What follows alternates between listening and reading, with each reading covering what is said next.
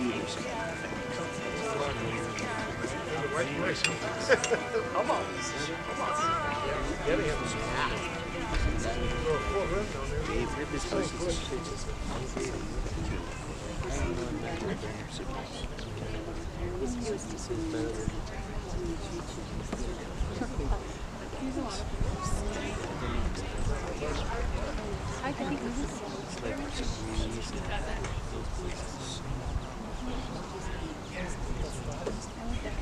All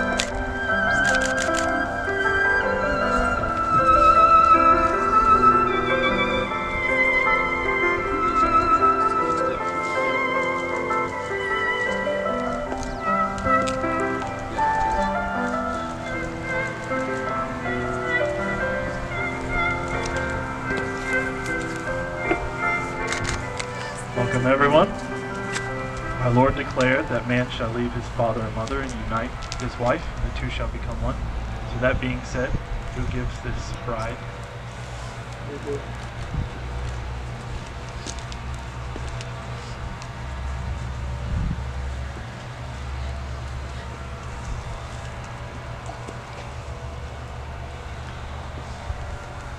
before we begin, I want you both to do what I wish my minister did at my wedding, just realize the moment.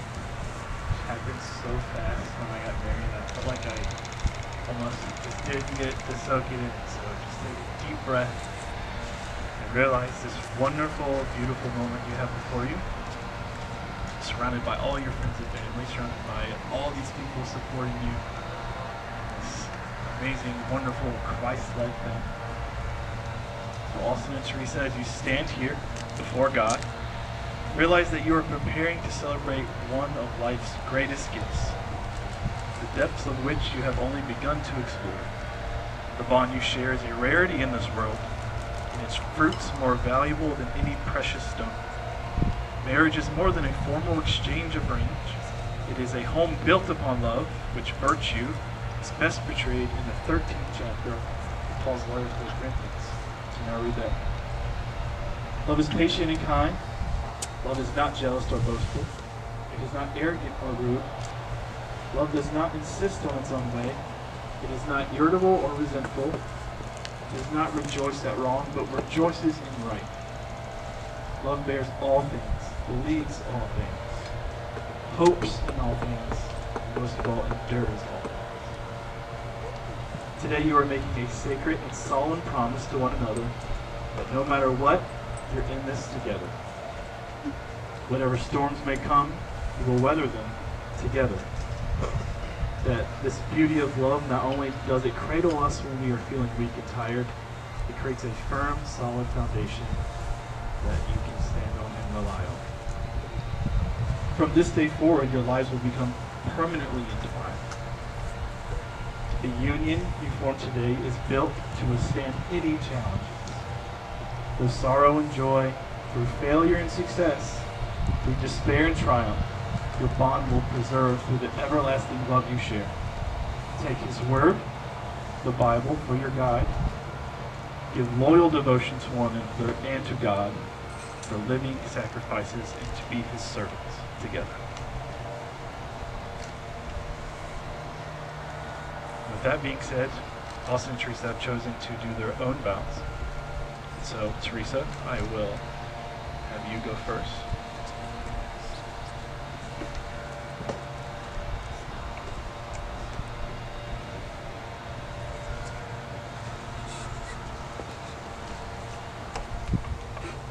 Austin, Daniel Bailiff. When I first met you, I was captivated by your love for others, the way you carry yourself with humility and strength, and your genuine love for the Lord. And I'm happy to say that years later, all those things and many more have been very consistent and very true. You're a kingdom man of godly character. You delicately balance humility and gentleness strength and authority in a way that I've seen few men do before. Your genuine value, you genuinely value honesty and integrity, and I've seen you love others with Christ-like love. What a treasure I've found in you, and the fact that I get to call you my own means the world to me. Before meeting you, I thought that things were going just fine on my own, and that I could just make it. But God had something much greater in store for me than I would even know what to pray for. You love and cherish me where I'm at, but you still encourage me to reach greater heights alongside you. And the godly love that you've shown me has allowed me to see a greater potential in myself as well.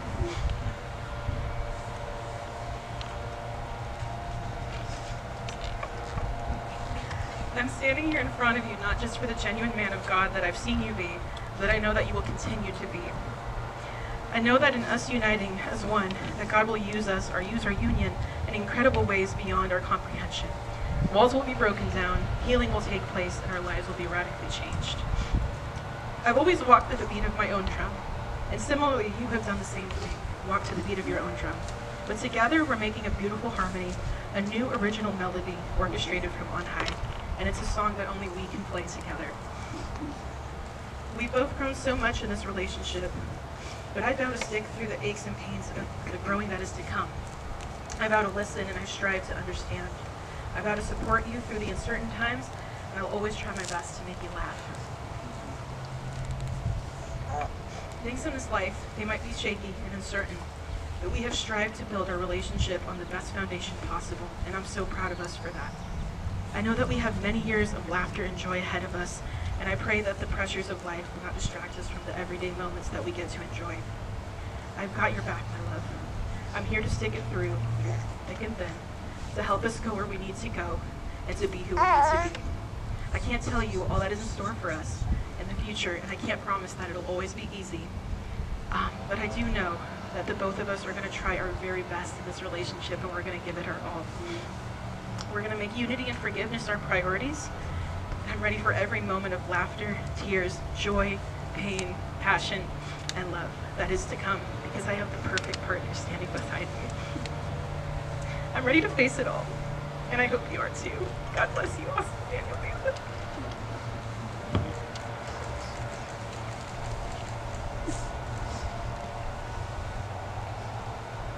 And by the way, please sit. You're, you're welcome to sit. I apologize.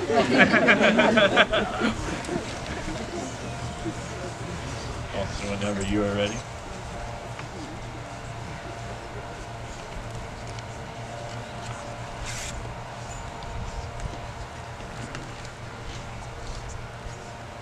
Not a man of many words, but I believe these are everything that I wish to say and carry a lot of weight behind them.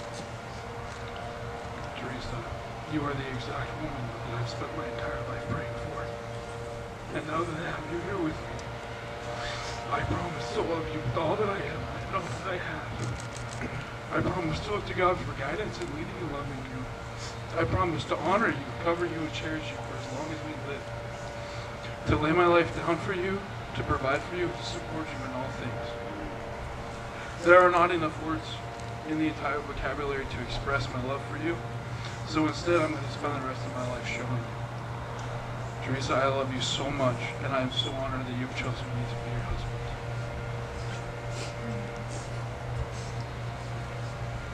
Next, we will do the declaration of intent. So you now hold hands. Austin, do you take Teresa as your wife your companion? Do you promise to share her laughter during the good times and wipe her tears during the bad from this day forward? Teresa, do you take Austin as your husband and companion?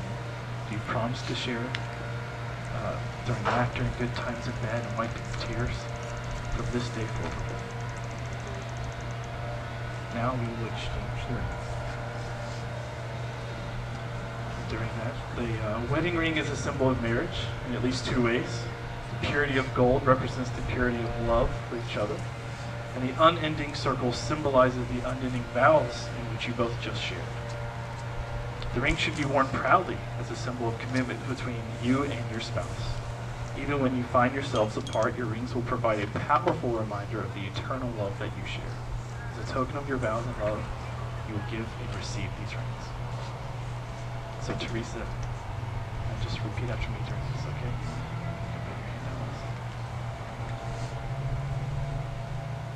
With this ring, I, Teresa, commit my love to you, Austin, for all time, giving you all that I am and all that I will be. Please accept it as a symbol of my love.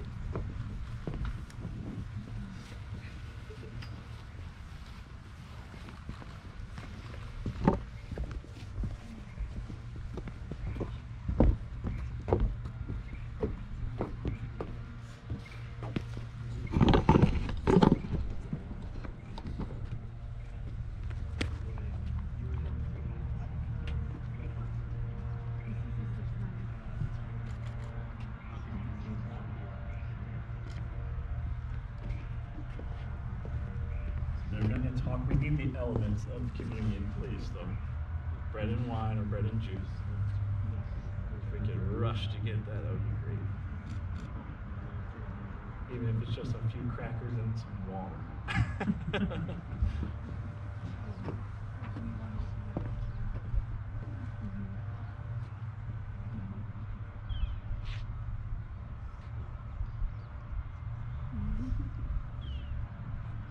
No, no, no,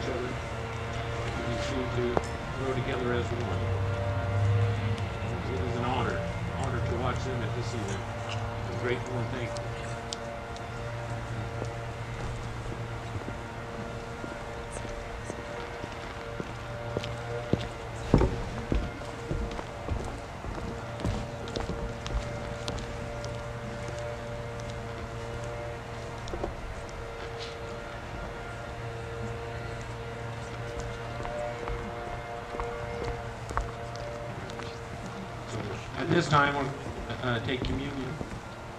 And so we'd like to take the bread and break the bread. The broken bread represents God's body and how He gave His life for us so we can have a better life. So as, as we take this, remember, remember all that our Lord has done for us. And that represent his body that was broken on the cross.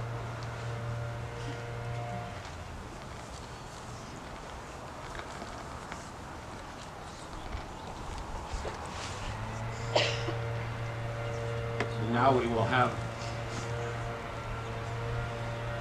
the wine that represents his blood, his blood he shed for our sins so that we can live a life. We're thankful. May this blood cover them.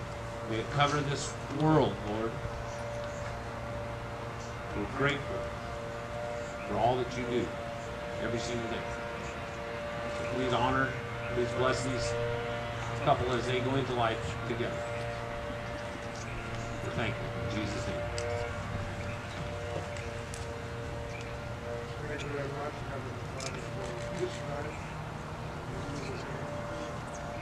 We, we are so grateful, Lord, for this time, for this ceremony, for your blessings, Lord, over Austin and Teresa, their families, and all the guests, all the people come to see us, and all the families here.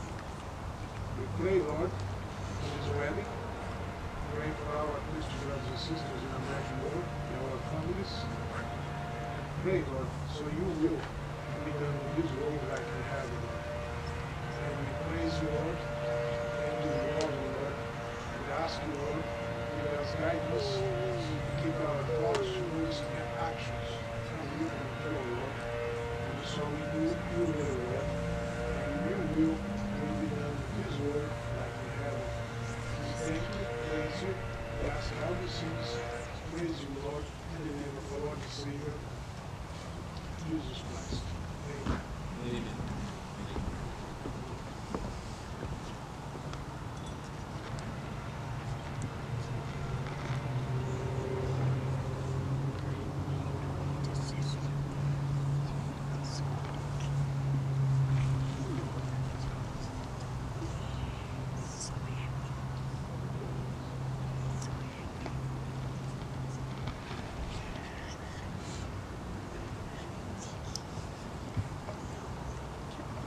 We are lighting the unity candle, representing two families coming together.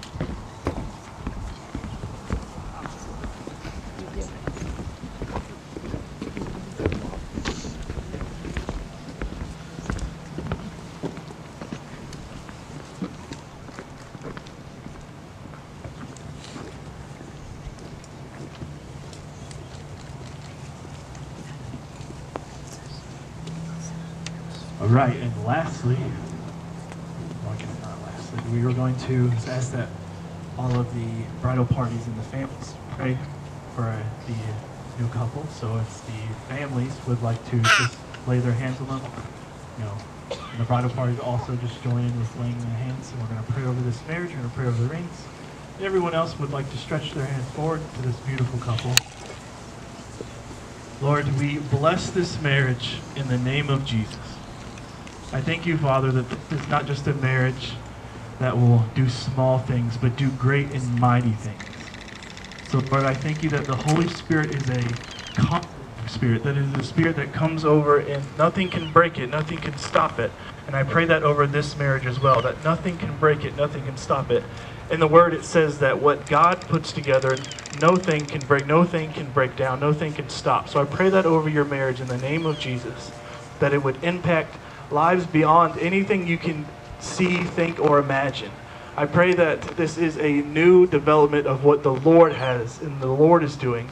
And I thank you, Lord, that there is salvation coming into the lives of everyone that they encounter, that there is salvation coming into the lives of everyone around them, that the Holy Spirit is alive and new in each of you, and it will be now a new thing in the generations, just not even just with you guys, but with everyone down the line. That this is a generational blessing coming down the line. That the Lord is doing great and mighty things here. In Jesus' name, amen.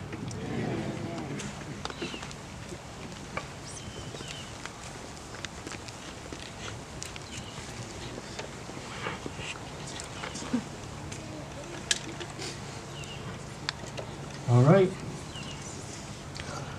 Family and friends, by the power invested in me, I now pronounce Austin and Teresa, husband and wife. Austin, you may now kiss the bride. Please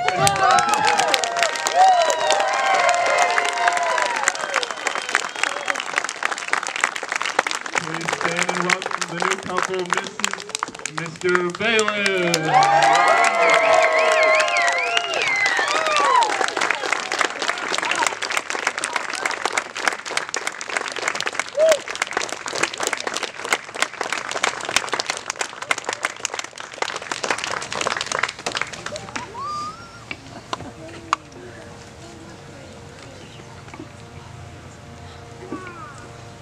while the wedding party is going down. You're welcome to still stand or you can sit as well. And then we will release you guys right after this.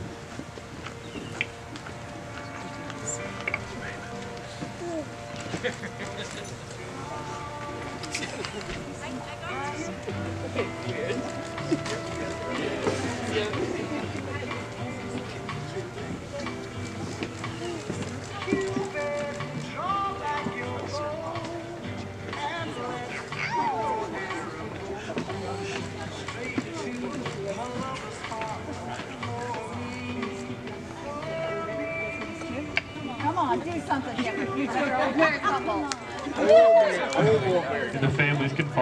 behind.